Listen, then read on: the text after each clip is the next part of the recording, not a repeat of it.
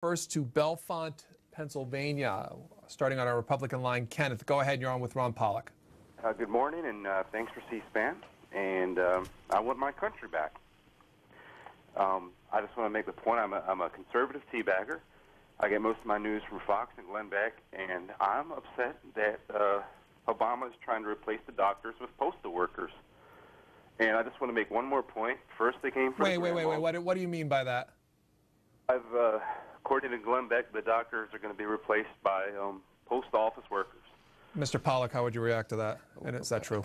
Well, I, I want to respect your caller, but uh, frankly, that's a silly comment. Uh, um, we, we need physicians in our healthcare system. If anything, we've got a scarcity of physicians, particularly uh, primary care physicians.